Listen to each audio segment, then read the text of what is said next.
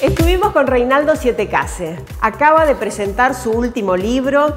Trabaja en radio, en televisión, en gráfica. Comenzó periodismo en su ciudad natal, en Rosario. Habla de su profesión, de lo positivo, de lo negativo y da consejos a los que recién comienzan. ¿Por qué elegiste ser periodista?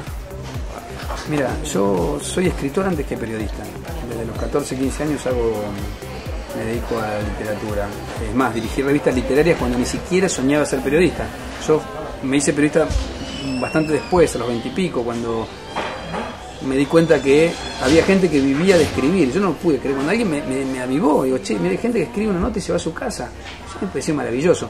Gané una beca de Clarín, vine en el 88 a Clarín a hacer la beca y miraba la redacción y decía, esto no puede ser, estos tipos escriben y se van a la casa.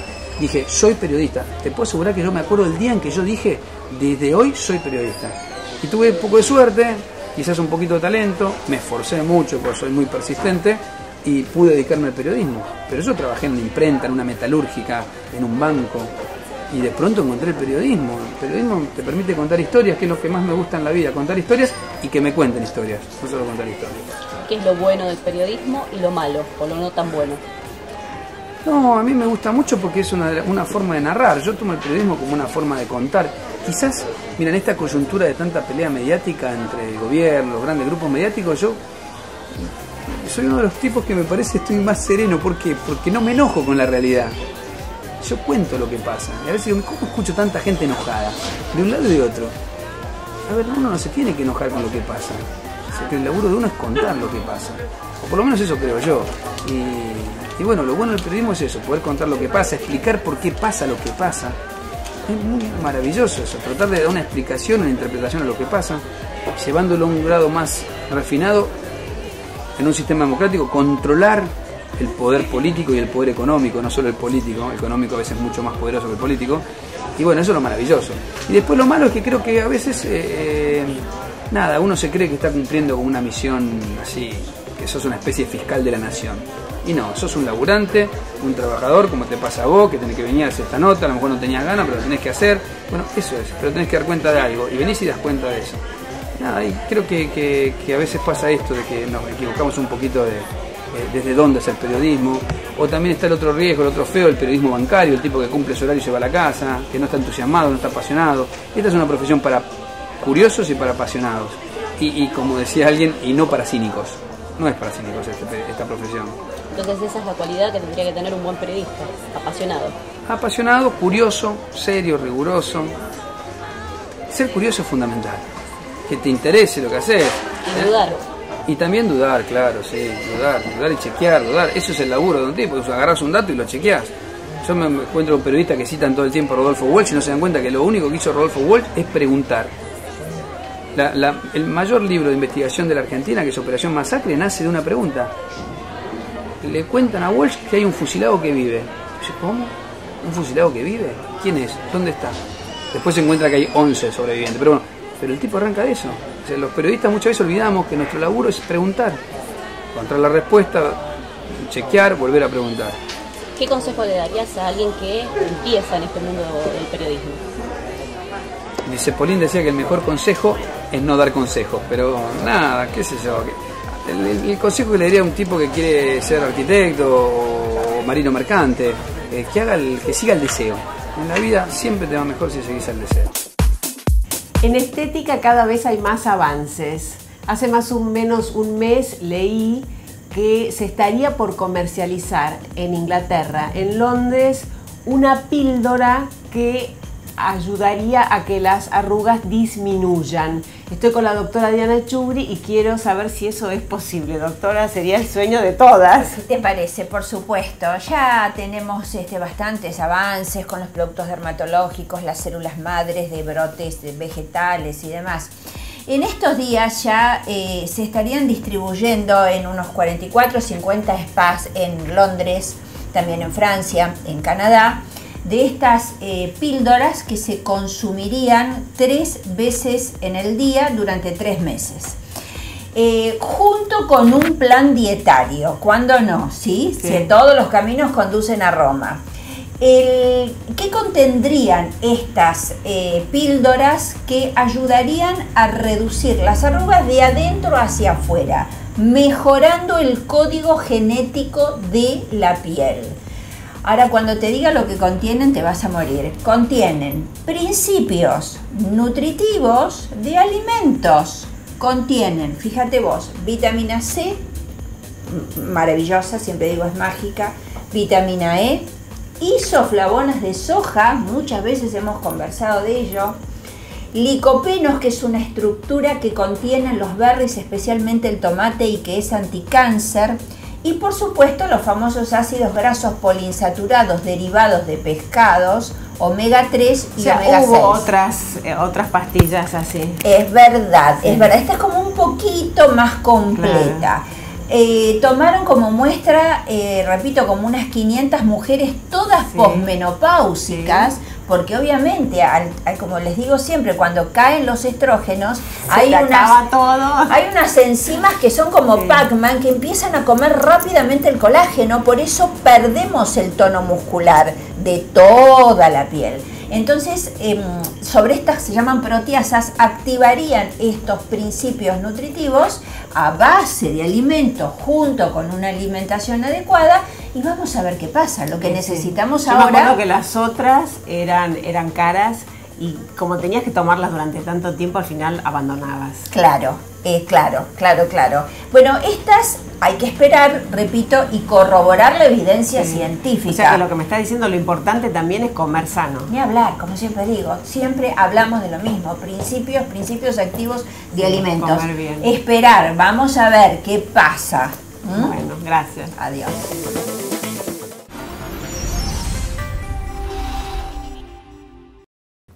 Como yo, vayan a Demicenter para tener manos y pies siempre cuidados. Pidan los esmaltes de colores. Son expertos en depilación. Les muestro el conjunto de Ile de France para dar un toque final a la imagen. Este collar de perlas muy a la moda, los aros colgantes haciendo juego con plata que brilla, los dos anillos con ágatas de diferentes tamaños y estas pulseras con plata también. Cuido mi pelo en Andrea, gracias Cristina que me lo lavó, Leonor me lo peinó, Evelyn me hizo shining y Delicia me lo corta. Hoy tengo unas sandalias con plataformas de Bonifacio Shopping que además son muy cómodas. Clínica Estética Doctora Diana Chugri, 20 años de trayectoria. Presentó City. Marketing Plus, Internet para empresas. En 19 meses hicimos la nueva Terminal C Aeropuertos Argentina 2000. Soñamos con vos.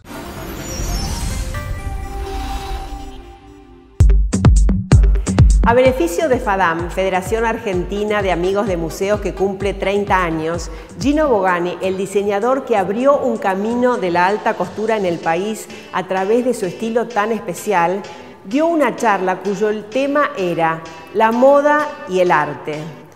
A través de sus creaciones fue mostrando la importancia de la actividad en el mundo cultural.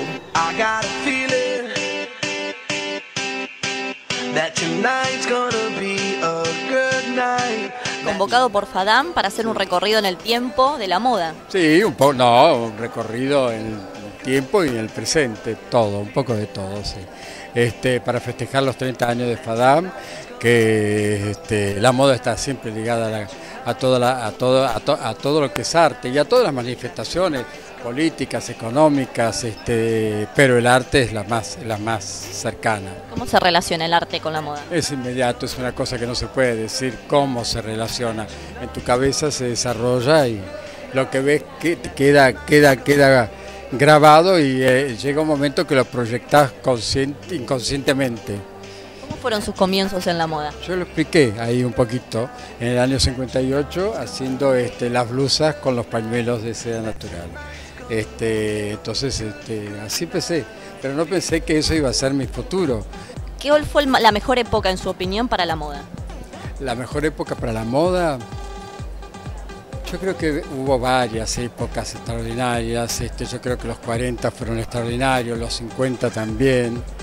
Hubo décadas que fueron los 60, porque hubo un gran cambio. Yo he vivido todas, las, todas las décadas y, todos los años los vivo con mucha energía y con ganas de hacer cosas. Así que para mí todo mientras sea para embellecer a la mujer, no afearla, sino darle todo lo, mejor que puedo, este, para mí son todos importantes. ¿Por qué eligieron a Gino Bogani para hacer esta presentación? ¿Qué pensaron en él? Porque Gino es de la Argentina lejos lo mejor que hay. Hace tantos años que trabaja y ha presentado las colecciones más maravillosas que yo recuerdo en Buenos Aires, en, los, en el Alvear, aquí en el Plaza, en los distintos años, con unas modelos estupendas argentinas que hemos tenido.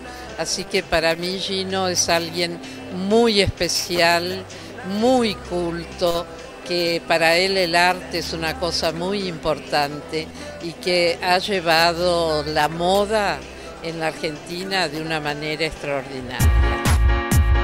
Slow Spa Express, una nueva opción de spa en el microcentro. Además de los tratamientos habituales, tiene lugares especiales para hacer siesta.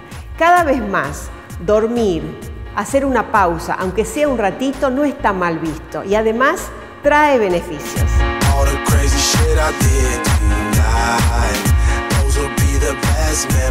Gabriel Pincus, director del spa donde se ofrece siesta a los clientes. Contanos de qué se trata esto de ofrecer siesta, qué son los siestarios. Eh, ¿Cómo te va, Lorena? Eh, la posibilidad de dormir la siesta eh, se usa mucho en, Estados Unidos, en, Europa.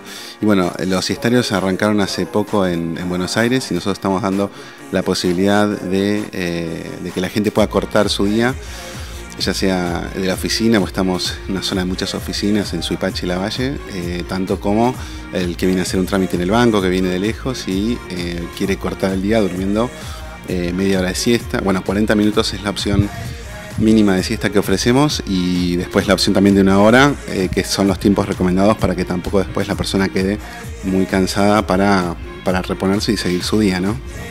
Muchos países se implementó esto de la siesta en el trabajo, en el horario laboral. Vienen toda gente de trabajo que está trabajando y necesita cortar el día y después volver al trabajo o toda clase de gente que quiera hacerlo. Sí, esta es una zona de muy microcentro, es mayormente gente de oficina. Lo que es turista viene más a la parte de lo que es masajes, porque bueno, tiene su hotel, entonces la siesta la resuelve por otro lado. Pero sí, es toda gente de oficina principalmente. En el área de siesta podemos ofrecer los 10 este, minutos o 15 minutos de masaje facial hasta que la persona se, queda dormida y el terapeuta se retira eh, del siestario. Y bueno, desde cualquiera de los masajes que comentábamos recién, la persona entra a un nivel de relajación que después siempre es bueno una siesta, con lo cual toma un masaje de una hora, un descontracturante de una hora, y después puede pasar al siestario y relajarse y tomarse otros 40 minutos, una hora de siesta. Interrumpimos una sesión de masajes con la doctora Paula, doctora en kinesiología, ¿verdad? Licenciada en kinesiología. Sí. Bien, ¿qué le estamos haciendo a esta paciente? Bien, estamos haciéndole un masaje en silla.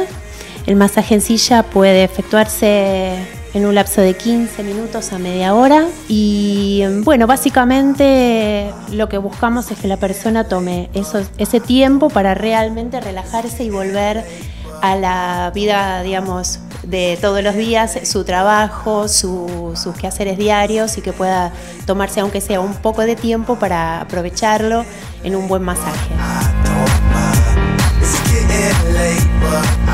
Bueno, interrumpimos otro masaje más. Contanos qué es esto, porque no lo había visto nunca.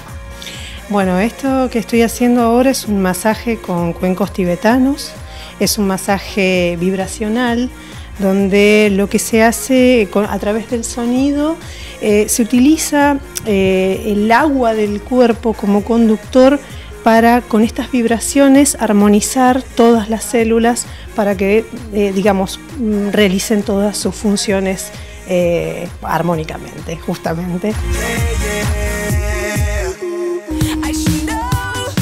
Nos acaba el programa, pero antes les cuento que la Asociación Argentina de Rosicultura, que cumple 60 años, nos invita a su exposición anual que dura solo un día, el jueves 27 de octubre, en el Círculo de la Fuerza Aérea, Córdoba 731. Traten de ir para admirar la belleza de la Reina de las Flores. Es un muy buen programa. Les mando un beso inmenso y los espero sin falta la semana que viene. Chao.